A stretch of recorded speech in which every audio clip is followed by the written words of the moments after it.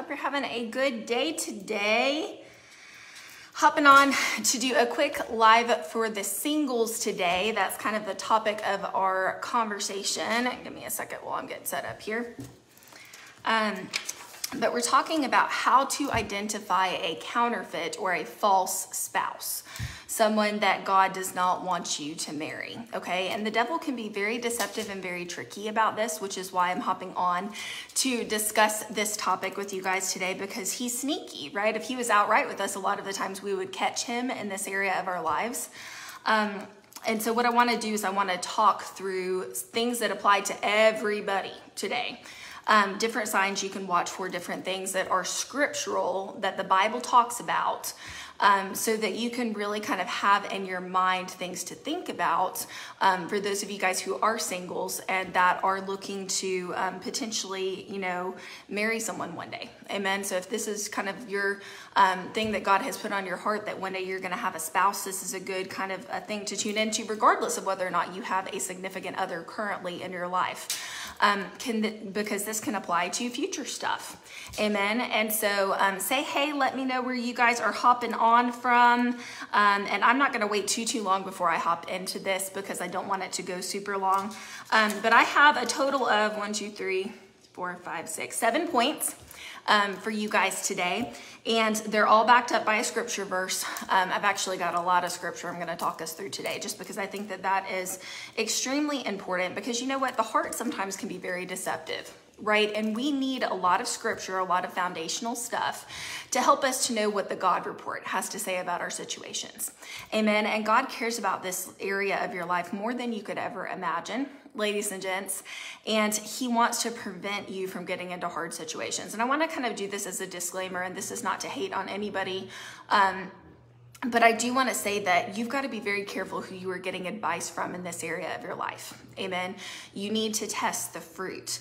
You know, there are a lot of married couples, current married couples, who did this completely wrong. They were outside of God's timing. They did not obey God in this area of their life.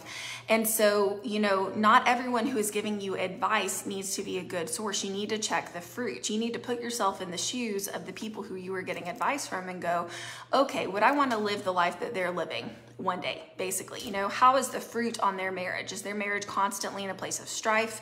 Is their marriage something that doesn't have good fruit on it? You know, did they not wait on God's timing, XYZ? Because those are the exact types of people you don't need to be getting advice from. Because a lot of times their advice is not going to be godly advice, even if they mean well ladies and gents. Amen. And so you need to watch the fruit. You need to look at the godly couples, amen, who did life correctly, who obeyed God, who waited on his timing, who asked God, you know, for advice over their marriage, who didn't jo- just go pick on their own, but they waited for the one that God showed them. Amen. Those are the people that you need to fashion this area of your life after. And you need to be very aware of the fruit. Not all advice is good advice. Amen. You know, the Bible says that there's wisdom and a multitude of counselors, but when those counselors counselors, quote unquote, go against what God is saying and what scripture is saying over your situation, you need to pick the God report over people's report. Amen. Um, and so, all of that to say, I wanted to start off with that because I think that's extremely critical for context as we are hopping into this and as we are talking about this particular topic today. Is you need to be careful who you're getting advice from, and you need to look at the fruit on these people's lives. And it's not to say they're going to be perfect. Perfect people don't exist, ladies and gents. And guess what? Your future spouse is not going to be perfect, okay? Just like you were not perfect. Amen. Um, however, they're going to demonstrate good fruit, which is actually one of our points that we're going to get into a little bit later on um, in our topic of conversation. But I wanted to kind of talk you guys through this so that you can get just a straight up biblical perspective. And these points will apply to every single person who hops on um, to this live because they're rather generic, but they're going to help you to quote unquote weed out a lot of the stuff that is not of the Lord.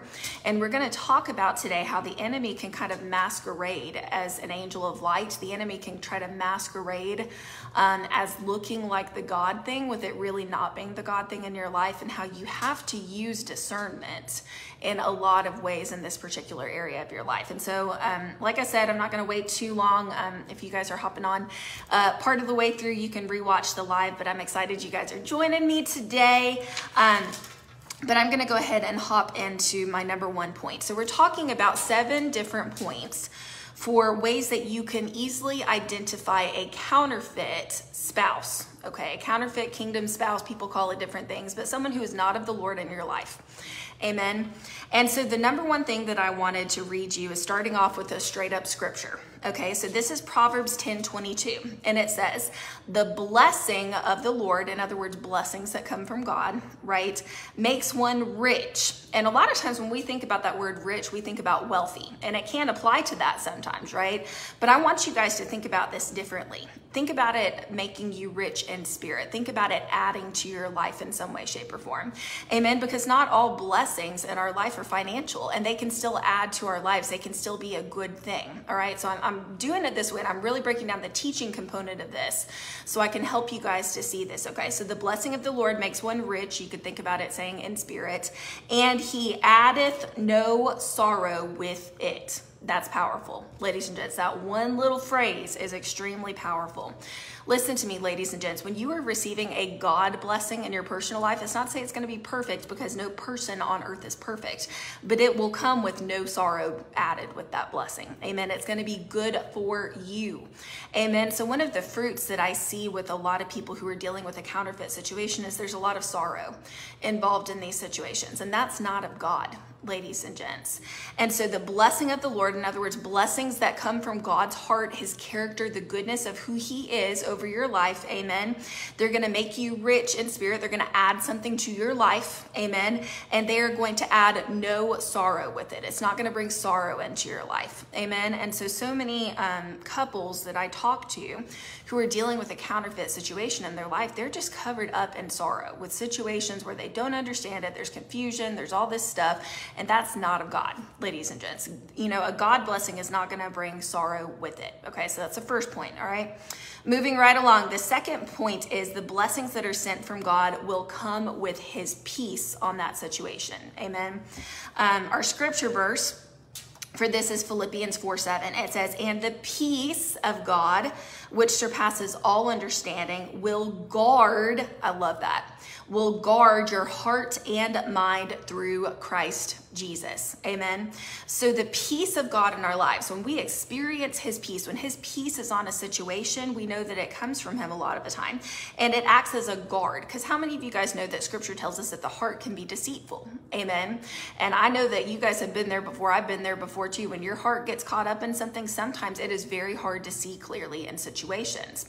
So a lot of times what you can do is you can look for the peace of God. You know, when something is not of God, there will almost be this like nagging feeling that you get a lot of the time where you know you'll see little pieces that don't add up or there'll kind of just be something that just kind of never goes away where it kind of just nags at you and you're like something is not 110% correct on this. Amen?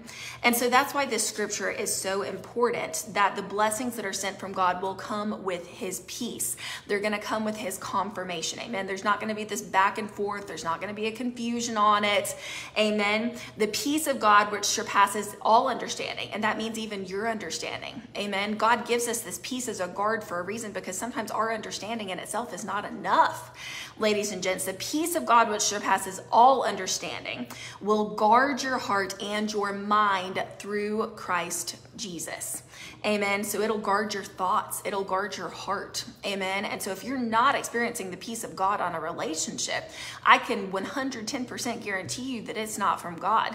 You know, even relationships that go through hard times, you know, are going to have a peace on them. Amen. It's not to say that your relationship is never going to have, you know, um, harder seasons you know every single married couple who hops onto this could tell you that there will be times you know where sometimes you're going to go through hardship.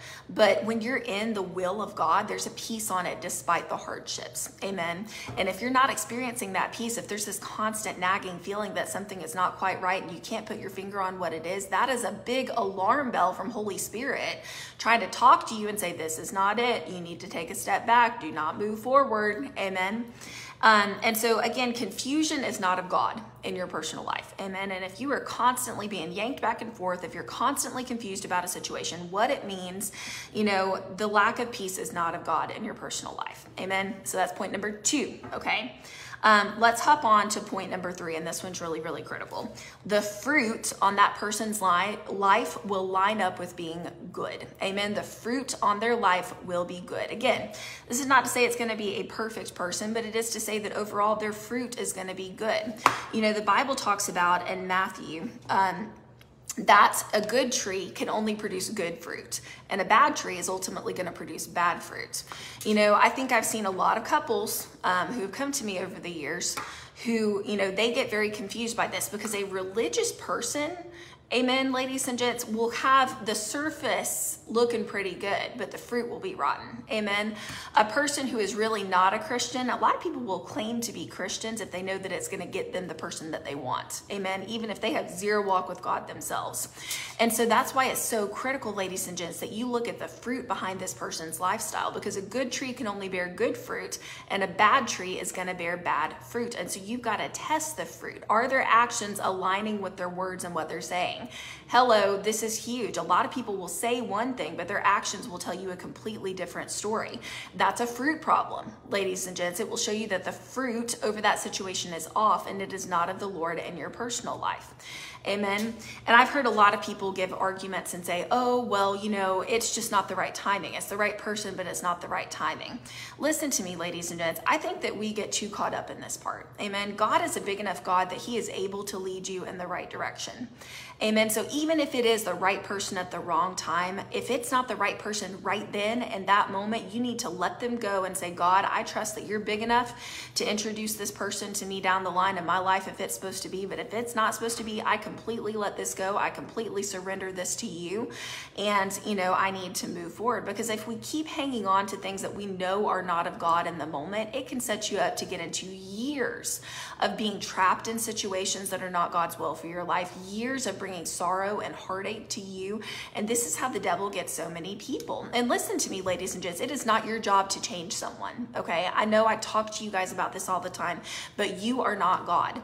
And so if you are staring at a situation where the fruit is bad, that person is not in a good place, it is not your job to hang in there and to go, oh, well, I'll just change them. You know, I can work with this, but I'll try to change them. That's not your job, ladies and gents. That job belongs to God and God alone.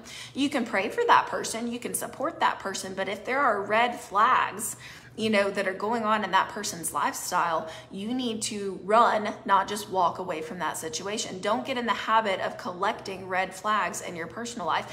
And definitely don't wait around on a situation where you're waiting for someone to change, where you're waiting for something, you know, because when God sends it into your life, his timing's going to be right. It's going to be good for you, ladies and gents.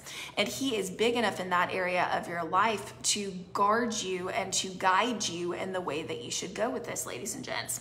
So again, point number three is the fruit will line up with being good in that moment. Amen. In that moment, you know, when God intends for you to meet your future spouse, the fruit's going to be good. Amen.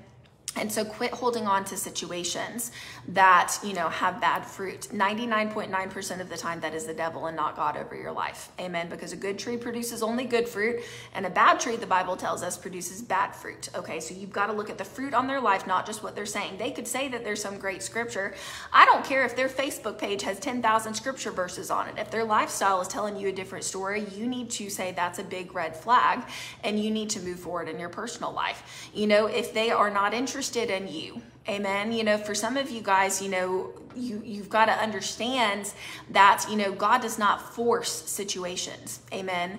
And so a lot of you guys are hanging on to situations that are not of the Lord. He has told you to let go of that thing. He has told you, you know, this is not the God thing that I have for your life. It's a good thing. They're a good thing. But remember, that's what got Eve in trouble in the garden. Amen. She pursued and went after a good thing that wasn't the God thing for her personal life. Remember, the fruit was described as being good and pleasing to the eye. Go look it up. It's in Genesis. Amen. The fruit that she was not supposed to eat.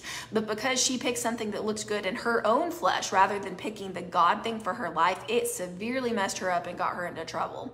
Ladies and gents, and it's the same way in our personal lives. When we go after stuff just because it is an option rather than being the God option in your life, God will let you do that. Even scripture tells you that God will let you do that. Amen. He says if you're just going to struggle with lust and if you're going to have a rough time and if you cannot control yourself, go get married. But that was never intended to be his best for you. Ladies and gents, God has someone that is for you that he wants to bring into your personal life that's going to be a good gift that he has, you know, called you to be with. And if you wait for his best in this area of your life, it's going to be well worth it, ladies and gents. Amen. It's one of the most important areas because who you marry can derail the call of God on your life if it's the wrong one, or it can draw you closer to the heart of the Father and cause you to walk in purpose in a greater way if it's the right one, ladies and gents. And so this is really, really, really critical. Okay. So you cannot separate God's words, quote unquote, his confirmations. We're to dig into this a lot more in a second, so work with me. Um, you cannot separate that from his peace, okay? Because God is called the Prince of Peace. I want to talk to you guys about deception a little bit and how the enemy deceives Christians in this area of their life, okay? False confirmations in your life let's say that you get a dream you get a vision you get you know some kind of uh, thing that you think is a confirmation from god on who you think your future spouse is even if it looks like you have gotten confirmation in the, these areas, if it lacks his peace on a thing, if it lacks good fruit, if it lacks these other areas, it's still not of God. I have seen so many Christians get tripped up in this particular area because they would see legit signs quote unquote, of different things. And they would go, oh, that must be God. I had a dream about that person. Oh, that must be God. You know, I, I thought that I got confirmation in XYZ way. But the Bible says that we are supposed to test the spirits. Amen. I'm hopping a little ahead of myself here, but it's it's gonna work this way, okay?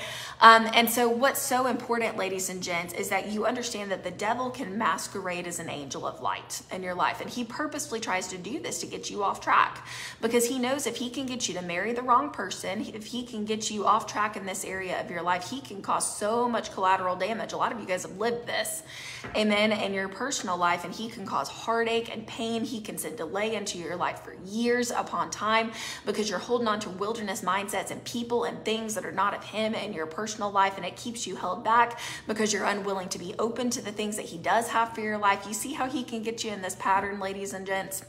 And so, even if you think that you've heard confirmations from God, let's say that you've gotten a dream, a vision, let's say that you think that you know who that person is, if it lacks His peace, amen, that's not of God. If it lacks good fruit, that's not of God, ladies and gents. Amen. Um, you know, even the devil can send you dreams and divine quote unquote coincidences into your personal life via witchcraft and familiar spirits. Can we talk today? This is why the Bible says that we have to test the spirits. You know, sometimes you can get a dream that's from your flesh ladies and gents. You can get dreams from the devil, you can get dreams from your flesh, and then you can get God dreams and interpretations, which is why it's so important to test the fruit. And God will confirm this for you in multiple ways if it's the one that you're supposed to be with. Amen. And so you've got to be very careful and discerning because the angel will masquerade himself to be an angel of light in your life. And you will think that you've gotten confirmations from God, but there will always be something that is just slightly off if that thing is not of Him in your personal life. The devil loves to play this game with Christians and it can really get you off track. Okay, so give me a second. I'm going to get my Bible opened up to our first scripture here. Um, I've got several on this one that I wanted to read you for this point on false confirmations, okay?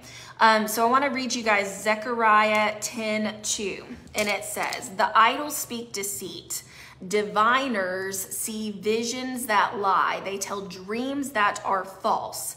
They give comfort in vain. Therefore, the people wander like sheep oppressed for a lack of shepherd. Now, if you look at the overall context of the scripture, it's not talking about what we're talking about today. But what I do want you to get out of this is what we learn from this. It says, Diviners see visions that lie. They tell dreams that are false. They give comfort in vain. So, diviners represents a spirit of divination in your life, okay? And we know that that is not of God, that's witchcraft right? I've talked to you guys about this before. And so we learn from the Bible here that you can get false visions and false dreams, amen, that are not from the Lord. Amen. And so this is why you need to test the fruit. It says they tell dreams that are false. They give comfort in vain. Okay. So a, a dream that is from the devil is not going to have good fruit. It'll appeal to your flesh more than glorifying God, you know, XYZ. And so that's why you need to look at the full context of what God is trying to show you with this stuff. And it is so critical to test the fruit. Amen. So let's keep going. Um, 1 John 4 1 is the next one that I want to hop to. If you guys are in your Bibles, let's see. 1 John 4 1. Okay. This one says, Dear friends, do not believe every spirit, but test the spirits to see whether they are from God, because many false prophets have gone out into the world. Um, and so here's the deal you know, and it goes on further to talk about how the spirit of Antichrist is running rampant through the earth, and it definitely is now more than ever, right? Um, but what I want you to know is you've got to, the Bible, it tells us as a command, you need to test the spirits when it comes to this stuff. Because just because you're hearing something doesn't mean that it's coming from God sometimes, ladies and gents. Um, again, it could come through a divining spirit, a familiar spirit trying to speak into your life and operate through a person that was sent to derail your destiny. You've got to be very careful, ladies and gents. It says, test the spirits to see whether they are from God. Amen. And so you can receive false prophecy, quote unquote, that the devil tries to speak into your life that can really get you off track, which is why even if you've had a dream, even if you've had a vision, even if you feel like you've gotten confirmation on a thing, if God's peace isn't on it, if there isn't good fruit, if it's stealing, killing, and destroying from your life, that thing did not come from God, ladies and gents. Period. End of story. Have a nice day. If it's stealing, killing, or destroying from your life, if you have more peace being away from that person than you do being with that person, that is not of God. They may have some admirable, qualities. Usually counterfeits do. Amen. It's not to say that they're going to outright, you know, be against God a lot of times. Sometimes that's the case. But again, the devil is sneaky with us, ladies and gents. He doesn't, you know, if he came in in a very guns blazing, blaring way, we would catch him a lot of the time. So he's subtle in the way that he comes into our lives. And so you've got to be very, very careful to watch for this and to test the spirits. Amen. Okay, moving forward, Second Corinthians 11, 14. And I got to find it. Okay. All right, this is that scripture that I was just talking to you guys about.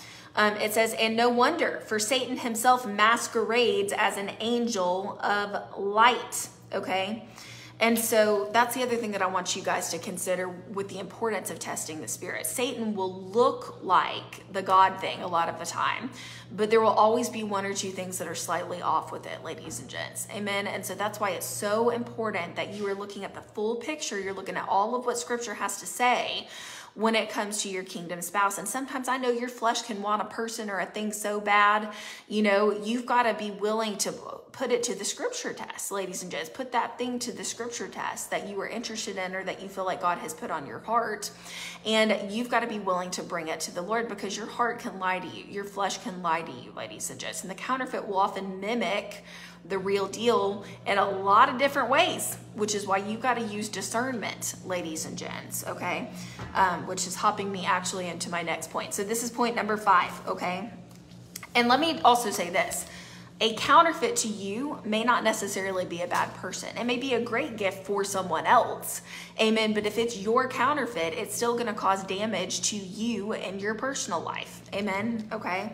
Goes back to the whole good or God thing in the garden. We've already gone through that, but I'm saying that to put it out there. Okay. All right. Here's the next thing. Counterfeits will mirror the real deal in a lot of ways, but not everything will be 100% lined up. You know, maybe you feel like you've gotten confirmation in some ways, but there's a lack of peace. Maybe you feel like, you know, you've gotten certain confirmations in different areas, but the fruit on their life isn't good. Ladies and gents, if there's one of these areas that is off, that's that should be causing an alarm bell in your spirit and you should be going, "Okay, let me think about this. Let me take a step back. Let me pray about this situation before I move forward on this thing. Amen. Because God wants to show you this stuff, ladies and gents, and He has good gifts and He wants the very best for you in this area of your life. Amen. Wanted to read you James 1:17. It says, Every good and perfect gift is from above coming down from the Father of heavenly lights, who does not change like shifting shadows. Amen. So, God's gifts that He brings into your life are going to be good and perfect. Amen. The fruit's going to line up, it's going to bring a peace into your life, it's going to be good for you. Ladies and gents, it's not to say that person's going to be perfect, okay, but it is to say they're going to be a good gift for you. It's going to be a perfect gift from the Father for you, ladies and gents. Amen. And you know, that involves things like even the following, okay? You're going to be attracted to your future spouse. Amen. If you're not attracted to a person, that's a pretty good sign that that's probably not from God. Amen. Because God says He sends good and perfect gifts. Now, that may not mean that you're getting a supermodel, okay? It may mean that you're getting, you know, um, a, a normal person kind of a thing, but you're going to be attracted to your future spouse because God sends good and perfect gifts to you. Amen. And so, even those little practical things are going to line up, ladies and gents. You know, God's not going to have you wait and surrender your this area of your life to Him just for Him to give you a bad gift. That's not the heart of our Father. Amen. He loves you and he wants what's best for you in this area of your life, okay? And you're going to be so attracted to this person's walk with God. Amen. It's going to be something that pulls you closer to the heart of God. And you know the reason for that is and that's this only works if you're chasing after God with every ounce of your being. Amen. If you're putting him first in your life. So often people pray for a godly spouse and I know you guys hear me talk about this all the time but they will pray, pray, pray and go, God, send me a godly person. But they're not living it themselves, ladies and gents. You got to live it and get closer to God first if you want to receive his very best in this area of your life. Amen. Okay. So James 1:17 every good and perfect gift comes down from above. Okay? Point number 6, all right? A God gift will not distract you from who God is and what He's doing in your personal life. Amen. It will draw you closer to the heart of God. The enemy brings people into our lives a lot of times in the form of a distraction. Suddenly you will realize you have no time for God time anymore. Suddenly your passion for God will begin to kind of, you know, dimmer down and kind of just become a flicker when it was a full fire before in your personal life. Amen. Suddenly they will distract you and they'll get you involved in going down a path into things and situations and habits that are just not very godly in your personal life. That's a good sign that this person probably was not sent from God. Amen. Because a God gift is going to draw you closer to his heart. Matthew 6:33 says, "Seek ye first the kingdom of God and his righteousness, and then all these things will be added unto you." Why on earth, if it is a command from scripture to seek God first in everything that you do, would God send you a gift that's going to pull you farther away from his heart? He's not going to do that, ladies and gents. So the person that God has for you is going to draw you closer to his love, is going to encourage you in your walk with God, not draw you farther away from him or be a distraction to you in your personal life. You got to test the fruit, ladies and gents, okay? All right, let me read you the seventh point, okay? Um, and we'll get it wrapped up here, but I have several scriptures associated with this point, okay? God gifts will not make you feel like you're stuck or you are in a place of bondage when they come into your life. Amen. I've talked to so many people who think that it's the God gift for their life, but it's keeping them stuck. It's keeping them in a place of bondage to hold on to these people, these circumstances, or these things, and that is not of God ladies and gents. Okay, let me read you some scripture. I want you guys to hear this. This is Second Corinthians 3:17. It says, "Now the Lord is the Spirit, and where the Spirit of the Lord is, in other words, what God's presence is on, what his hand is on, ladies and gents, it brings or there is freedom in your life. So, in other words, whatever God is bringing into your life, whatever His hand is on in your personal life, it's going to bring freedom into your life. You're going to feel free. You're not going to feel like you're in bondage. You're not going to feel stuck. You're not going to feel like you're just constantly in this place of war in your personal life. You're not going to feel constant confusion, like you're in this tug of rope game with Satan and with God. And is this Him or is this not Him? Ladies and gents, that's not of God. Where the Spirit of the Lord is, in other words, what God's hand is on in your personal life, it's going to bring a place of freedom freedom. Amen. Alrighty. Um, John 8:32 says, "And you will know the truth, and the truth will set you free." Okay, so you know the truth is if it's a good gift that God is bringing into your life, it's going to bring freedom into your life. It's not going to bring bondage. It's not going to bring all this chaos, you know, all of this stuff into your personal life. Amen. So this is really important. So in other words, God's truth or His facts over your life are going to bring freedom to you. It's going to bring you know liberty from the place of bondage. It's going to feel like it's just um, a good thing and that it's really natural. Amen, ladies and gents. And it's not say you're never going to go through storms or have anything hard, but a relationship that is sent from God, again, it's going to have His peace on it, ladies and gents. So I'm going to leave it there because I don't want to be on super long. I was on forever on the last live that I did with you guys. So I'm trying to contain myself and keep it a little bit shorter. But I hope that helps. And if you guys have found yourself in a situation where one of these th- points that I just made kind of triggers an alarm bell in your spirit with somebody that you've been talking to or thinking about or whatever, I would encourage you guys put things on pause for a second, bring it to God. You don't even have to announce it to everybody. You don't have to announce it to that person that you've been talking to quite yet. You don't have to announce it, you know, to family or friends or whatever. Just bring it to God, kind of behind the scenes, and say, you know what, God, um, I want your perspective on this. Before I move forward, before this goes any further, what do you have to say about my situation here?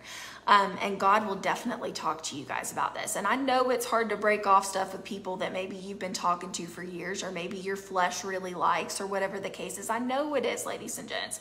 But God doesn't ask you to do this stuff to torture you. He does it because He has a good gift that He's trying to bring into your life.